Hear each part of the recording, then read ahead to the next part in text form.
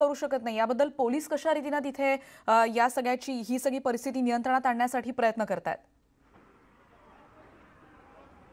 Police नाही पोलिसांची इथं बंदोबस्त तर आहेच. सक्ती कोणी करत नाही हे फक्त आव्हान करतायत. हो. असं या सगळ्या स्वाभिमानी शेतकऱ्यांचं म्हणणं आहे. आपण पोलीस अधिकाऱ्यांकडे जाऊया. त्यांचं म्हणणं काय आपण पाहूया. सर मला सांगा इथं आता आपण पाहतोय सगळं. पुकारलं जातं पण सक्ती करू शकत नाही ना कोणी बंदची. म्हणजे नाही सक- सक्ती नाही ना.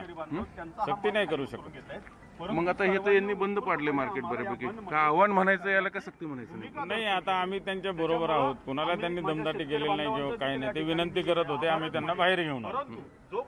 हे मार्केट आता चालू आहे की बंद आहे नेमकं? चालू आहे ना मार्केट. चालू आहे ना. मार्केट चालू आहे. जे शेतकरी माल घेऊन आले ते त्यांचा विकतायत. कामगार जरी संपामध्ये सहभागी झालेले असले तरी शेतकरी त्यांचा माल स्वतः विकतायत तिथे. म्हणजे रेणुका आपण पाहिलं पोलिसांचं म्हणणं आहे की ते फक्त आव्हान करतायत आणि आता पोलिसच त्यांना इथून मार्केटमधनं घेऊन चाललेले आहेत पुढं.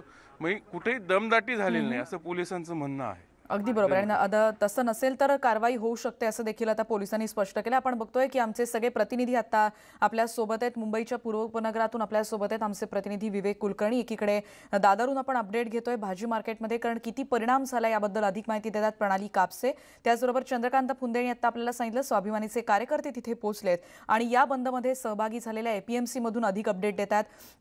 आमचे प्रतिनिधी विनय म्हात्रे देखील. पहिल्यांदा आता आपण जातोय चंद्रकांत यांच्यानंतर विनय म्हात्रे आता आपल्यासोबत आहेत. विनय एपीएमसी मधल्या ही जी पाच मार्केट्स आहेत ती देखील आज या सगळ्यामध्ये सहभागी होताना त्यांनीच काल आपली भूमिका स्पष्ट केली होती. किती प्रमाणात आवक कमी झालेली आहे? तिथल्या व्यापाऱ्यांचं या सगळ्याबद्दल काय म्हणणं होतं? सविस्तर सांगाल. नक्कीच. रेणुका जर आपण पाहिलं की आता ह्या मार्केटच्याच अस्तित्वाचा प्रश्न असल्याचं इथले माथाडी कामगार असतील इथले व्यापारी असतील यांच्या सगळ्यांच्या अस्तित्वाचा प्रश्न आहे.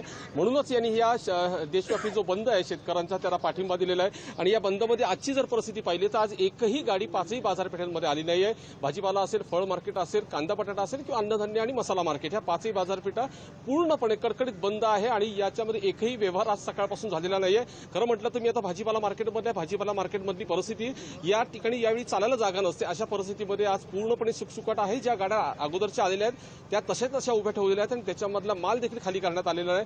त्यामुळे पूर्णपणे बंद आहे. हा बंद पुकारलेला हा आपल्या अस्तित्वाच्यासाठी पुकारल्याचं म्हटलं जाते आपल्यासोबत जे एपीएमसीचे संचालक आहेत आमदार शशिकांत शिंदे आपल्यासोबत. आपण त्यांच्याशी या सगळ्या विषयावरती बोलू. काय सांगाल तुम्ही? तुमचं तर थेट म्हणणं आहे की आमच्या अस्तित्वाचाच प्रश्न आहे. सगळ्या घटकांचा अस्तित्वाचा प्रश्न आहे. काय तुमची भूमिका? नाही देशातल्या शेतकऱ्यांनी जे काही आंदोलन सुरू केलेलं आहे त्या शेतकऱ्यांच्या आंदोलनाला पाठिंबा देत असताना नुसता हा प्रश्न शेतकऱ्यांचा नसून याबरोबर असलेल्या या बाजार समितीशी निगडीत असलेल्या कामगार असेल वारणार असेल मापाडी असेल ट्रान्सपोर्टर असेल व्यापारी असेल सर्व घटकांचा लाखो लोकांचा हा प्रश्न आहे. म्हणून या प्रश्नाच्या संदर्भातून पाठिंबा देण्याचा आम्ही निर्णय घेतलेला आहे. निर्णय घेण्याचा उद्देश एवढाच आहे की आजची ही लढाई जर आम्ही केली नाही कालपर्यंत आम्ही एकटेच लढत होतो. त्यावेळेला आम्हाला फार मोठा लोक म्हणायचे दलालांसाठी लढतायत आणि असं करतायत इतकं त्या ठिकाणी शेतकऱ्यांची लूट होते वगैरे असे आरोप केले जात होते. परंतु आता शेतकरी राजाच म्हणतोय की आमची बाजार समिती आमच्या हक्काची आहे. जिथे आम्हाला हमी भाव मिळतो किंवा तिथं आम्हाला दर मिळतो किंवा आम्हाला त्या ठिकाणी आमचे पैसे मिळू शकतात. आम्हाला कुठे विक्री करायचं एक ठिकाण आहे जे सरकारने उपलब्ध केलेलं आहे ते जर बंद झालं तर त्या ठिकाणी आमची अडचण निर्माण होईल. म्हणून त्या सर्व गोष्टीचा रेटा हा जर आता केला तरच आमचं पण अस्तित्व टिकेल. नाहीतर आज या बाजार समितीच्या नियमनमुक्तीमुळे आजच्या घडीला व्यापारी आणि प- कामगारांचा पन्नास टक्केच्या वरती परिणाम झालेला आहे आणि त्याच्यामुळे आम्ही या आंदोलनात उतरलेलो आहोत. पण जर आपण पाहिलं की जसं नियमनमुक्ती केल्यामुळे भाजीपाला असेल कांदा बटाटा मार्केट असेल हा संपूर्ण माल पन्नास टक्के आता मुंबईमध्ये जातच आहे. कारण पन्नास टक्के इथला व्यापार तसाही तसाही कमी गेला शेतकऱ्यांना मुंबईमध्ये पाठवलाय.